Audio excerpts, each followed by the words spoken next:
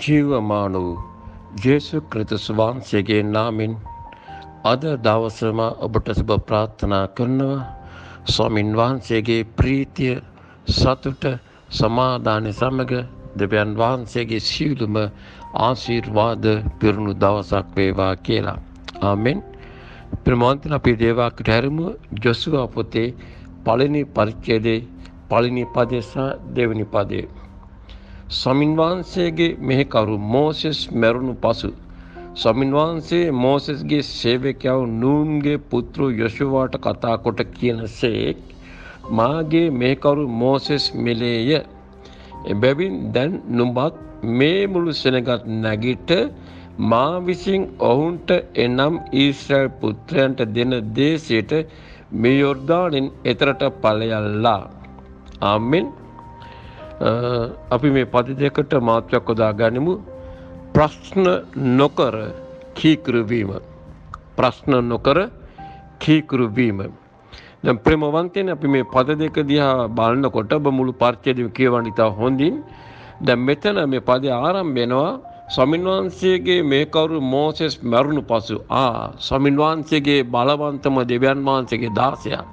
ඊශ්‍රායල් සෙනගව මිශ්‍ර දේශයෙන් එළියට ගේන්ට ක්‍රියා කළේ මෝසෙස් කරුණටගෙනයි.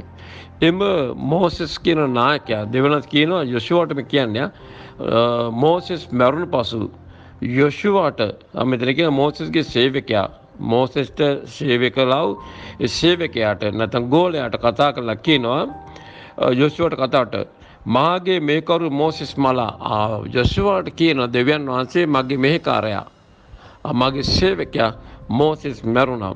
එබැවින් දැන් නුබත් මේ මුළුසෙනක නැගිට මාවසින් ඔවුන්ට දෙන්ට පොරොන්දු දේශයට මේ යෝර්ධාරෙන් එගොඩාට යන්ට.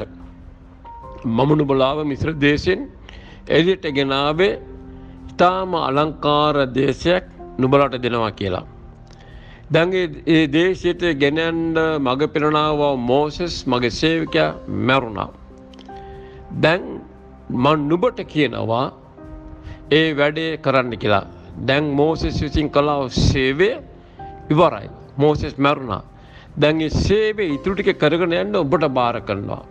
ඒ නිසා මේ මුළු සෙනග මොකද්ද වැඩේ? මේ මුළු සෙනගව අරගෙන යෝර්දානේ ගොඩහට යන්න. දැන් මේ සෙනග කවුද? හොඳටම යොෂුවා දන්න කට්ටියක්. කවුද මේ සෙනග?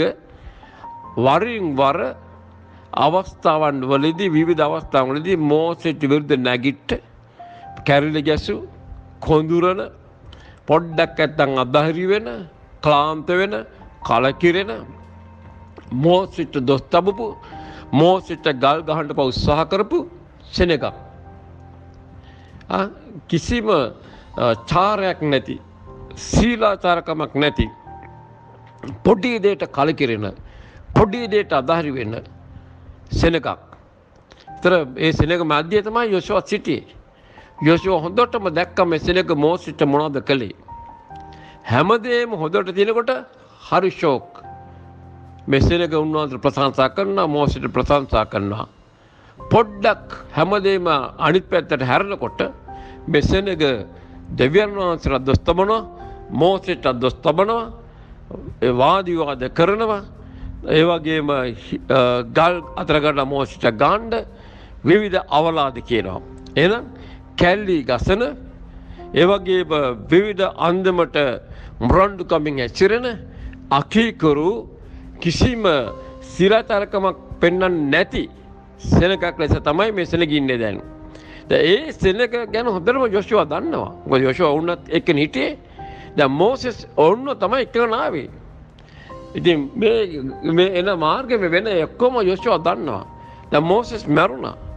දැන් දෙවියන් වහන්සේ කියන යොෂුවාට මේ මගේ සේවකයා මැරුණනේ. ඒ නිසා මේ වැඩ ඔබට පවරනවා. දැන් මේ අයව මේ යොර්දානේ ගොඩාට මම කියන දේශ කැයරුණ දැන් උඹයි. ඔබ තමයි නායකයා වෙන්න ඕනේ. එතකොට ප්‍රේමවන්තෙනි මේ සෙනග හොඳටම දන්න කෙනෙක් හැටියට ඔවුන්ගේ ඇසිරීම ස්වභාවය දන්න කෙනෙක් හැටියට යොෂුවාට ප්‍රශ්නයක් අහන්න පුළුවන්. ස්වාමී ඔබ වහන්සේගේ ඒ අනර්ග දේවදාසයා මගේ ස්වාමියාටත් මෝසෙටත් මේ සිලක කැල්ල ගැහුවන විරුද්ධව? ඔබට දොස් තැබුවා නම් හිතුවක්කාර වෙන සෙනගක් නම් මුරොන්ඩු සෙනගක් නම් පොඩ්ඩක් ඇත්තන් අධාරි වෙන සෙනගක් නම් මම කොහොමද මේ එක්ක යන්නේ? මම කොහොමද මොන්ට සේවය කරන්නේ? මොන් කියන දැන් මම හොඳටම දන්නවනේ. කියලා ඒ වගේ මොනවාරි කියන්න තිබුණානේ. යෝෂුවා මුකුත් කිව්වේ නැහැ. යෝෂුවා මුකුත්ම කිව්වේ නැහැ. සෙනග ගැන මුකුත් කියන්න ගියේ නැහැ යෝෂුවා ස්වාමීන් වහන්සේ කිව්ව දෙයට ඔළුව පාත් කරා හරි ස්වාමිනී ඔබ වහන්සේ කියන දේ මම කරන්නම්. මෝසස්ගේ ඒ සේවය නාතුප තැනිදලා මම දැන් මේ සේවය කරගෙන යන්නම්. කාටද මේ දැන් මේ සේවය කරන්න යන්නේ දෙවියන් වහන්සේගේ නාමෙන් අකීකෘත සෙනගකට. දෙවනාච එවුන්වයි මේ යශෝට බාර දෙන්නේ තරුණ යශෝට බාර දෙන්නේ මුරන්ඩු සෙනක. ප්‍රමවන්තනී අදත් අපිට ස්වාමිනාංශ කියන්නේ ලේසි දේවල් කරන්න නෙවෙයි. පහසු දේවල් කරන්න නෙවෙයි. අම්මාවරුදේ යොෂුවට අමාරු මේ සෙනග ගෙනියන්ට මොකද යොෂුව දන්න උන් කවුද කියලා මොරන්ඩු සෙනග ස්වාමිනා ඔබට මට පවරන්නේ ලේසි පහසු දේවල්නේ අමාරු දේවල් හැබැයි අපේ දේට කීකරුන විට දෙවියන් වහන්සේ අප සමග ඉන්නවා. වැදගත් මෙලේ තමයි යොෂුව ප්‍රශ්න කළේ නැහැ අනේ ස්වාමීනි මං කොහොමද? මේ සෙනග මෙහෙමයි ඉන්නේ මොන්ගේ සුභාය මම හොඳට දන්නවානේ. මට මම තරුණෙක්. මට ශක්තියක් නැහැ නේ මොන්න ගෙන යන්න.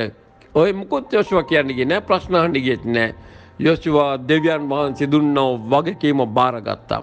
අද බොහෝ විට දෙවියන් වහන්සේගේ සෙනග දෙවියන් වහන්සේගේ දරුවන් මොකද කරන්නේ? දෙවියන් වහන්සේ විසින් පවරන්නව සේවාවන් වගකීම් පෑරහරින බාරගන්නේ නෑ. ඔය කරෑරලා ජීවිතයට උත්සාහ කරනවා. නැත්නම් ප්‍රශ්න අහනවා. ඇයි මා විතරද පේන්නේ පාස්ටර්ට අර අර පේන්නේ නැද්ද? මට විතර පාස්ටර් වැඩ කියන්නේ. අරයට වැඩක් කියන්නේ නැද්ද?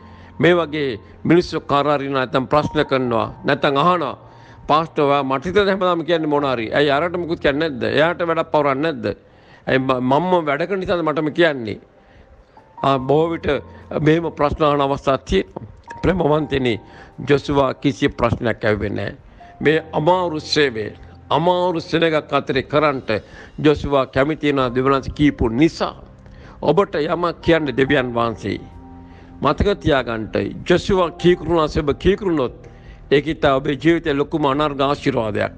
ඔබ අකීකරුණා නම් ජොෂුවා ලබාගත් ආශිර්වාද ඔබට අහිමි වෙන්න පුළුවන් ජීවිතේත්. අකීකරු කෙනාට ආශිර්වාද ලැබෙන්න යන්නේ නැහැ. දෙවියන්වහන්සේ මොනවද කියන්නේ?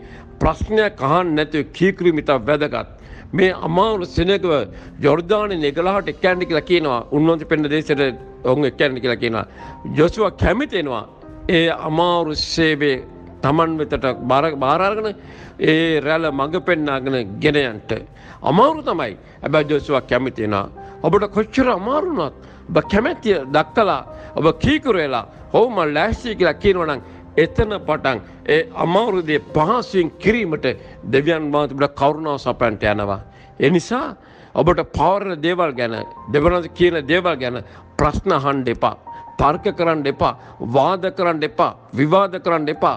කීකරුවෙන්ට ජෙස්වා කීකරුවතේ කීකරුවෙන්ට දෙවන්නතුබට උපකාර කර ඒ ගමන යන්ට ආමෙන්. ප්‍රමාන්ත දෙවපියානි මේ වචන නිසා සිති. ජොසුවා ඔබහන්සට ප්‍රශ්නයක් අහන්න ඇති කීකරුණා සේ. අපි එක කෙනට අස්වාමනි කීකරුවෙන් පිත එවැනි හදවතත් දෙන්නි කැපිරල යාඥ කරන මිලනේ සංසගේ නාමෙන් ආමෙන්.